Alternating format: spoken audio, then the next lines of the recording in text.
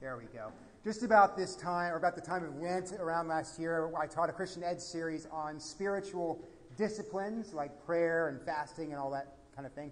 And um, during that time, I studied, or I read at least, some parts of books um, about prayer and different methods of prayer. And I learned many good and helpful things that I, I sometimes apply and I uh, pass on uh, when I can.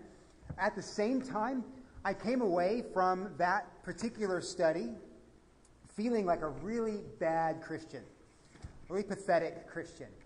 Um, I, I, was reading books authored by guys and, and women too who seemed to just like float on this spiritual cloud of, of just this constant interaction and knowledge of God's will and purpose in their life. And, and they were always, it was this, the sense that these, these guys were always in communion, conscious communion with God. And when I looked at my own prayer life, um, I realized that's I'm not I'm not I'm not there.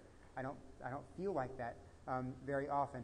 So I came away kind of feeling like uh, again a pathetic a pathetic Christian. And and then it, you know sometimes I don't know if you've had this experience as well, but it's the, the same thing or the same feeling I get sometimes when I go to prayer meetings, especially prayer meetings with other pastors there.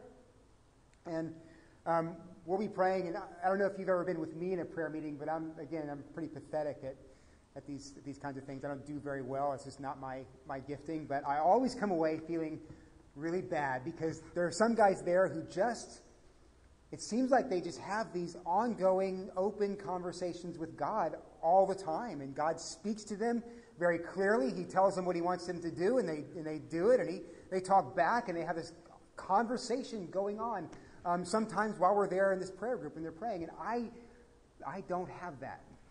I just don't. I'm, I'm, not, I'm not there.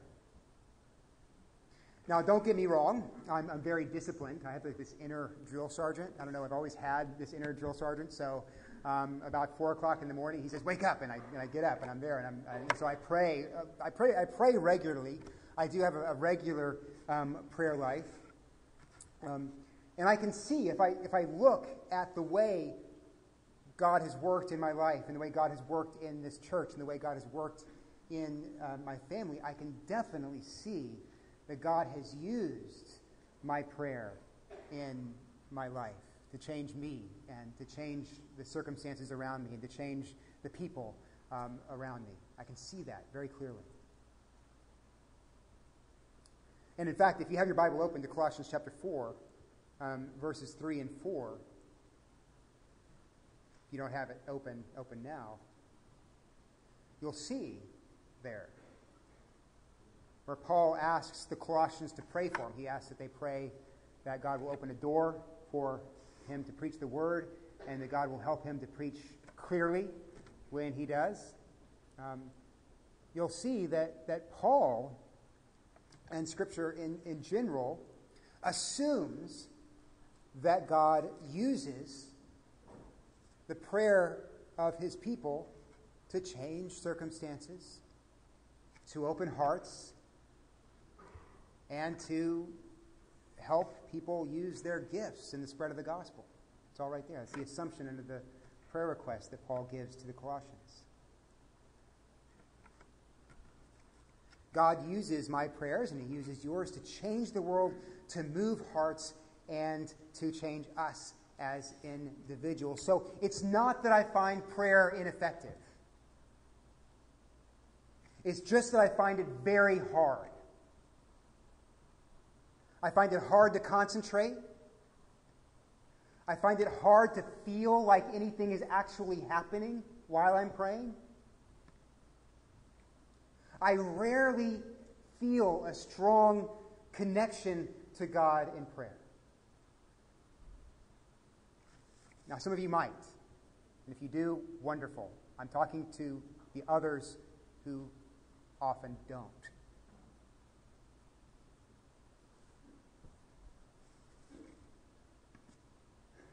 I know that God hears every thought before I think it. Psalm 139 2. I know that God knows my every need before I even need it. Matthew chapter 6, verse 32.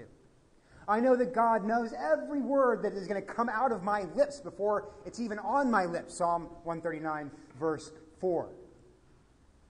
And I know that um, I know that the Spirit helps me in my weakness, and that when I do not know how to pray or what to pray for, that the Spirit intercedes for me with groanings too deep for words. And I know that He who searches hearts knows what is the mind of the Spirit who dwells in me, and that the Spirit intercedes for followers of Jesus according to the will of God. Romans 8, verses 26 through 27. I know that. All of these truths are true. I've seen miracles. I've seen God use prayers to open doors where there wasn't even a door to open. But I don't regularly come away from prayer with a sense that I've been in real communion with God. And because of that, it's easy for me to get discouraged. And so I often enter into prayer without a real expectation that God is there and active and moving in my life. There is, in other words, often a sense of futility in my prayers. Now, this is not personal confession time. I don't think that I'm alone. I mean, I have, like I said, I've been to prayer meetings and I've read books and I've, I've been in churches where, you know, the assumption is everyone's having this deep, deep, rich spiritual walk with God and always living a life of prayer. And you know what? Half the time, I think that's a big lie. Because I think a lot of the time, our experience of God in prayer can be that we don't experience that. It can be futile. The New Testament, the reason I know I'm not alone, is the New Testament anticipates that frustration. In a certain city, there was a judge who neither feared God nor respected man. And there was a widow in that city who kept coming to him and saying, Give me justice against my adversary. For a while the judge refused, but afterward he said to himself, Though I neither fear God nor respect man, yet because this widow keeps bothering me, I'll give her justice, so that she'll not beat me down by her continual coming. Luke chapter 18, verses 2 through 5. What's Jesus' point in that parable?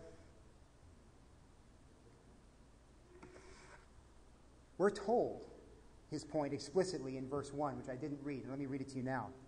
Jesus told this parable to the effect that they, meaning his disciples, ought always to pray and not lose heart. See, Jesus knows you, and Jesus knows me. He knows that we're weak. He knows that we're easily discouraged. And so he says, and this is sometimes I find unhelpful, but he says it, he says, don't quit. Don't, and this is the key we're going to be moving toward, don't let your emotions rule your prayer life. Don't let your feelings determine your prayer life. Don't lose heart. Don't stop praying.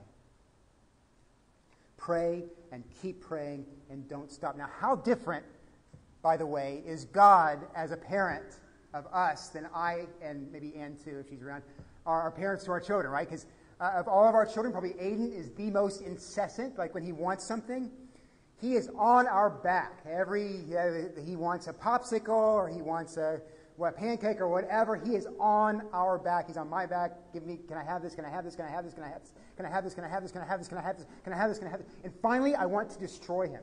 I, want, I, I love my son, but I want to destroy him at, at, at a certain point. Right? I, I want him to be quiet. Ask me once, not again. That's the way I am. But see, it's so interesting because God is the opposite of that. God says, no, no, keep asking, keep coming to me, keep praying nag me to death, but he can't die, so that's why he can, he can take it. You can keep coming to him with these things. Don't stop. I am not, God says, the unjust judge. I hear you. I'll act on your behalf. I'll do what is good for you. If you ask me for bread, I won't give you a snake. Know that, even when you can't feel it.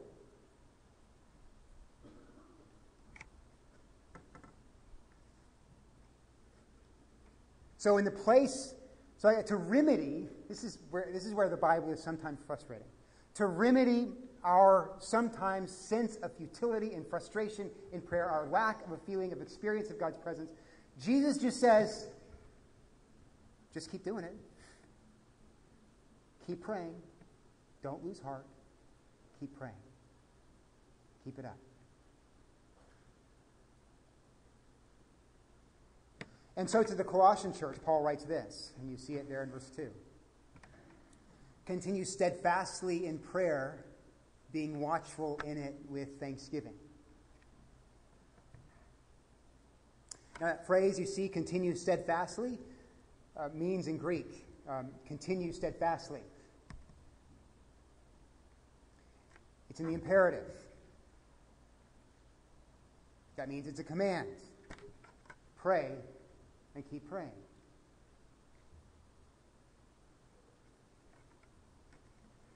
So, why is this command necessary? And more importantly, why is it hard to keep?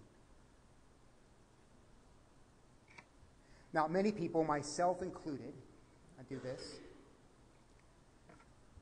associate the presence and the power of God with a movement of the heart. So this is why this is why in some not this is church so much, but this is why church hopping sometimes happens. Right? Because people go to a place and they feel the presence of the Spirit. I feel the Spirit here, right?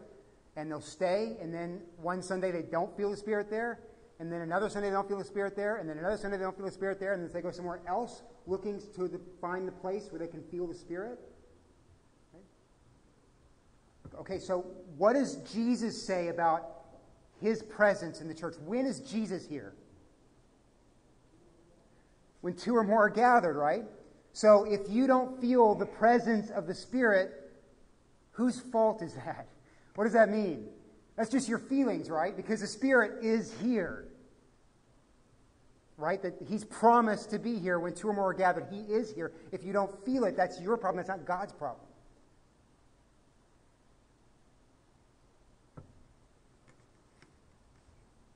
So when I'm, anyway, back to my point, when I'm moved by worship, when I'm on a spiritual mountaintop, I say to myself, God's here, God's present. This prayer, this prayer time has been beautiful and wonderful. I feel it. But since that experience is rare and fleeting and not daily, you and I and many people can begin to experience prayer as a lonely exercise of the will rather than a true communion with God. It's just like this thing we just have to keep doing. So the problem is that we associate God's presence with our experience of God's presence. And when we do that, we look in the wrong direction.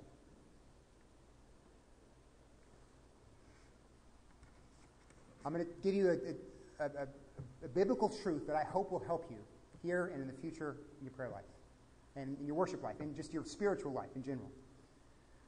The Bible most plainly and clearly associates the movement of God's Holy Spirit in your life and in the life of the church primarily with the decisions that you make. A decision, for example, to be obedient in an area of your life which in which your emotions and passions are drawing you in the opposite direction is a spirit filled decision. A decision, for example, to forgive when every fiber in your being is screaming out for vengeance is a spirit filled decision.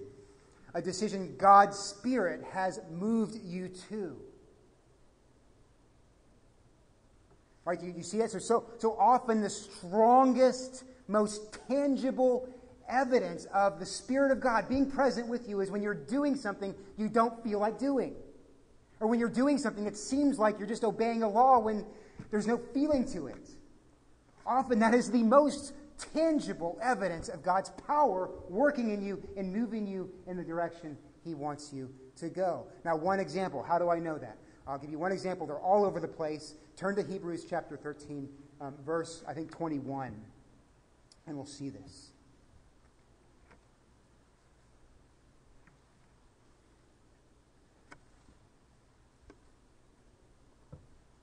The author of Hebrews, and we don't know who it is, but the author of Hebrews prays this for his readers. May the God of peace, listen carefully, may the God of peace equip you with everything good that, or so that, you may do his will, working in us that which is pleasing in his sight. Okay, here's what this means. That prayer, and again, there are many like it, dotted throughout Scripture, assumes that doing what God wants you to do because He wants you to do it is God's working in you. It assumes that obedience is the indication of the presence and the power of the Holy Spirit because the prayer says, Will you equip me with everything good so that I might do His will, or that you might do His will? He works in us so that we might do what is pleasing in His sight. That is God's Spirit working. So let me show you how this all plays back, back out in prayer. So you're sitting there tomorrow morning, which I'm sure you're all going to pray tomorrow morning because the sermon's on prayer today. So if you if you lapsed away from your prayer habit, tomorrow morning you're going to get up bright and early, or maybe tomorrow afternoon you're going to say, "I'm going to pray. I'm going to do it." Right? So you're sitting there and you're praying, and um, even if you don't feel like it, feel it, and even if you don't feel like you're communicating with God at all, so you're, you're laboring at it, and you're feeling condemned because you're laboring at it, and you're feeling alienated from God because you don't feel anything. Um, your labor there is one of the clearest and tangible evidences of God's power in your life.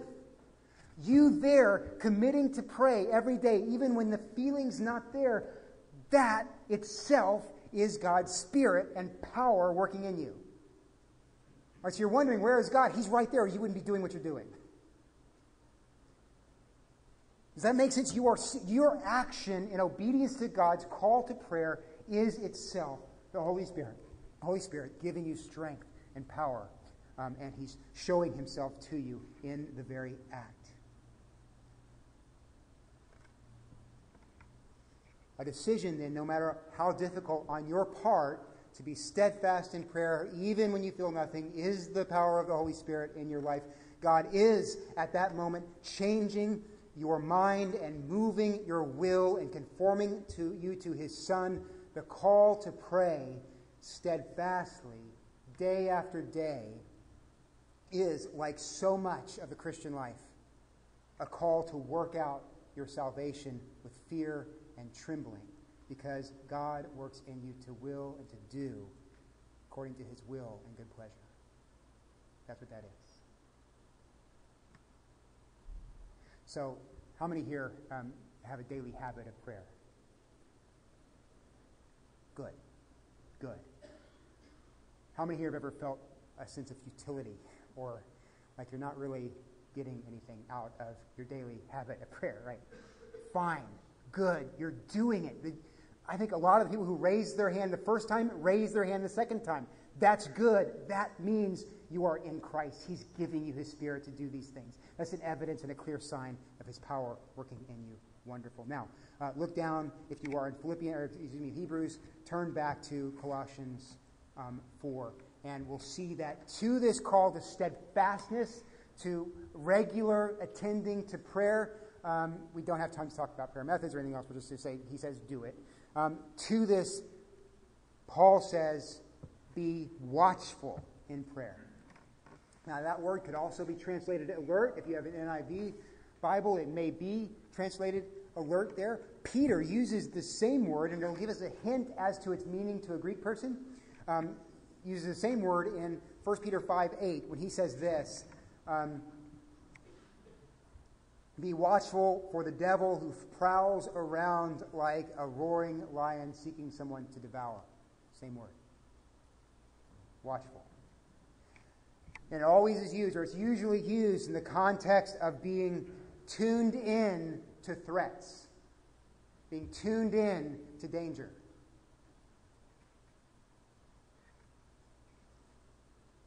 To be watchful in prayer is, I think, then, I think what Paul means here is to be tuned in to challenges, obstacles, threats to the spread of the gospel in you and in the world. And that follows along with his request in verses 3 and 4 to pray for him. Threats in our life come, in our Christian life, come from the flesh that's your own sinful nature, your own desires that draw you away from God. They come from the temptations that are in the world, and they come from the devil, Satan, and his demons. Three places. They work together. Satan is real and he hates you. Satan is real and he hates you. He hates your family.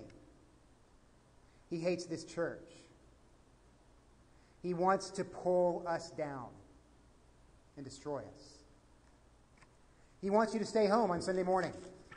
He wants you to stay home from Bible study. He wants you to complain. He wants you to gossip. He wants you to lust. He wants you to be unforgiving. He wants you to despair, and he uses the world around you and your own flesh, your own weaknesses and passions to bring these desires of his to fruition. It works all together. Let me give you an example of what Satan does. How many here like to gossip? Okay, yeah, there are some honest people. The 8 o'clock service, they're all no, no one here likes to gossip, and it was a big lie. Of course, we all like gossip. When you get good, a good, juicy bit of information, you just want to pass it on. That's human nature. Some of us have a real problem with gossip. Others, we just only do it sometimes. But gossip is one of those things that can really not only tear you apart, but tear apart relationships in the church, can't it? Right? So let's just say um, you have an issue of gossip.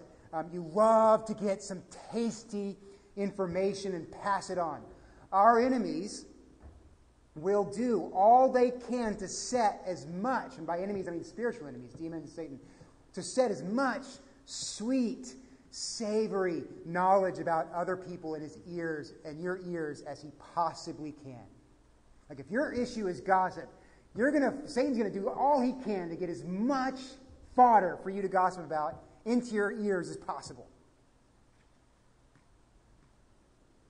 Now, if you are not watchful, if you don't know that about yourself, if you've never taken the time to examine your own soul, your own heart, your own desires, your own passions, and you don't know you're a gossip, that's one reason the church is here to help tell you if you're a gossip. Be quiet. But um, if you don't know you're a gossip, if you're not watchful over yourself, then you'll swallow the lure and be hooked every time.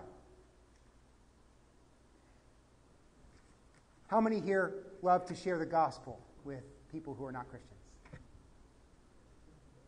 No one raised their hand. My goodness. Very honest bunch of people today. I'm very um, happy with that. Um, Satan hates the gospel. He hates it when someone believes in Jesus Christ and is, is transferred from darkness to light. He hates that. He hates it when individuals and congregations act on the mission Jesus gave to his church.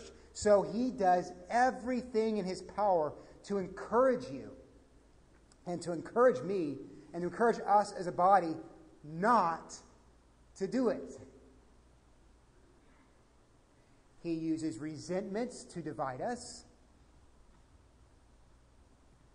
He uses a love of comfort and a fear of risk to hobble us.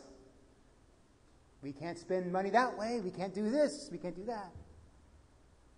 He uses our individual sin issues to impede and impair and infect other people in the church body and make the entire body weak and inactive. Don't think that your struggle with dishonesty or your struggle with lust, or your struggle with gossip, or whatever it might be, is only affecting you. Satan uses your sin. His hope is to use your sin not only to destroy you, but to destroy the church. He wants to use you to take everyone else down. He wants Good Shepherd to be petty, small, angry, comfortable, and proud in Jesus' name. He wants us to be horrible and proud at the same time. So that's what, what, what Paul is trying to say to the Colossians and to us is we each need in our prayer life to be watchful over our own souls. Do you know where you're weakest? Do you know the spots in your soul and your spirit and your life and your body that cause you most often to fall into temptation? Do you know what those are? Do you know the conversations you probably shouldn't have and the places you shouldn't be and the thoughts you shouldn't be indulging in? If you don't, you need to be watchful, discover them, offer them up to God in prayer, seek His protection so that you don't get dragged away and you don't take others with you. Be watchful in prayer for yourself. How many here have a prayer list? Sorry, excuse me, a parish uh, address list, phone list? Anyone? Not many? You should get one. Um, it's out of date. we got to update it, make it look, make it a little more to include everyone who's come to us lately. We, we're, we're not as um, it's an old one. We need to redo it. But um, use that prayer, that parish um, phone list as a prayer list.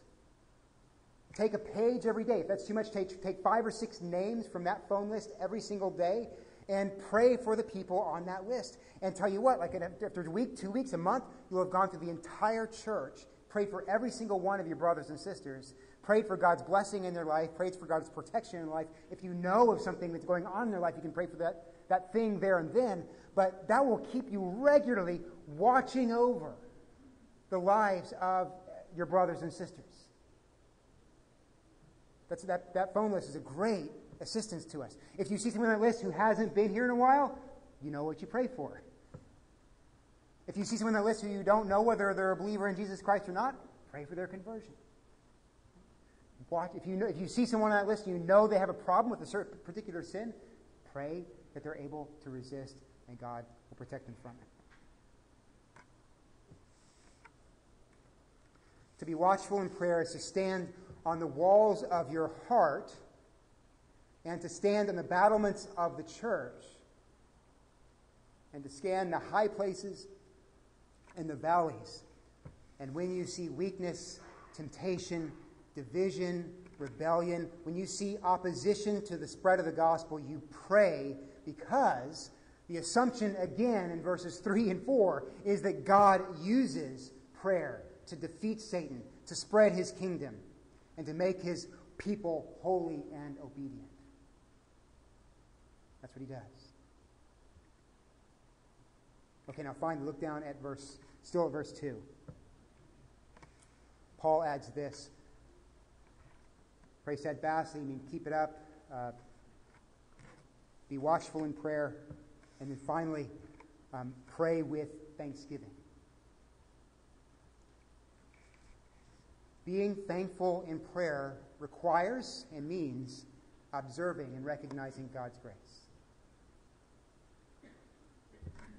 Everyone here go like this.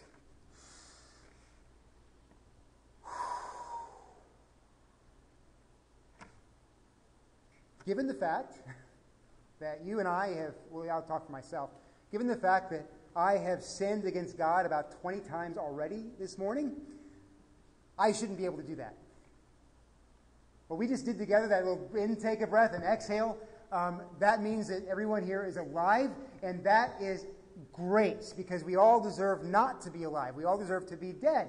God has graciously continued to sustain us in life. That's a wonderful thing, but that's just the beginning. He gives you food, He gives you money, You may not have as much of it as someone else, but think about what we said about two weeks ago. If you live in the United States of America, you are fabulously wealthy compared to people who live in other places, like the village where Anne grew up in Mali. If you are living in the United States and you are alive, you are fabulously wealthy. I don't care what your situation is. You have money, you have shelter, you have clothes, you have food, and you even have at least one person in the world who loves you. That's great. You have fellowship, you have a relationship with other people in the church. Just in the material plane, you have so many wonderful things to be thankful for. But above that, God came Himself to live and die in your place and to take away your sins and to uh, make it so that you will never taste death. And then by His grace, He brought you to faith in His Son, Jesus Christ. And that means you can go to Him whenever you have a need or a desire or want, and He hears you, and He promises never, ever to forsake you. Those are all very general things that you, on a daily basis, can give thanks for. Start out thanking God for. Now, those are all general things, but we can be very specific. As a church, we have a place to worship that's four times the size of our last place. And we have a congregation to worship with that is twice the size it was three years ago. In direct answer to often unconfident and unbelieving prayer on our part. I've seen in my personal life, and if you think about it, you have seen in your personal life God's answer to prayer over and over and over and over again. And being thankful in prayer requires you to think about it and identify those things in your life for which you are thankful and that God has done in your life and in the life of the church. Now, what do you think happens when you do that? What do you think happens when you add this to your regular, steadfast praying every day? What effect does it have? Well, I'll give you just a few. For me, I'm a lot less envious when I spend time thanking God for what I have. I should be dead. Instead, I have a family and a home and a job, and I'm going to heaven when I die, and then one day I'll rise again. Um, when I make a habit of, of seeing that, I'm less prone to look at some other pastor's big church and say to God, why can't I have that? I'm less prone to look at the blessings of other people's lives, and I'm more prone to look at the things that God has given me and be thankful for that and, and content in the life that God has given me. Second, I'm happier seeing my life, even the difficult parts and the parts that have meant pain for me, as coming directly from the hand of my Father who loves me. I can find pleasure in what I have, and I can find meaning in pain. So I'm just happier when I'm thankful. And finally, and I think this may be what Paul's getting at after he commands steadfastness, um, when I'm more thankful, when I, when I make a point of thanking God for the blessings in my life, I pray more. Thankfulness remedies my emotional deadness. I may not feel like prayer is accomplishing much, but when I look at what God has actually done through prayer, I'm actually motivated then to pray. I see that it has, in fact, accomplished much. When I look back at my past and remember what I was like, remember what my life was like, I look back on very specific deeds that God has done in my life and circumstances that He's changed that would not have changed otherwise. I recognize that, and that leads me then again to pray. So, all these things, the, the, the, first command that Paul gives to be steadfast in prayer is helped by the last command to be steadfast with thankfulness. And that brings us full circle. Steadfastness, watchfulness, and thanksgiving and prayer um, for myself and for the church um, work together. And I'm going to actually stop right now. Where we're going to go um, next week is we're going to take chapter verses 5 and 6, and I'm going to try and get to the goodbyes. I don't know if I'll be able to do that in the, in the rest of chapter 4, but I'm going to try and finish um, Colossians uh, before I leave and I'm hoping to do it next week, and we'll see if that's even possible. Um, the Lord be with you. Let's pray.